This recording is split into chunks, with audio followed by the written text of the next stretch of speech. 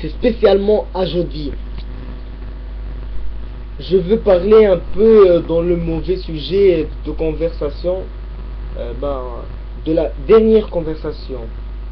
Il y a beaucoup de personnes euh, qui- qui sont parlées à ma place et je veux t'expliquer tout de suite.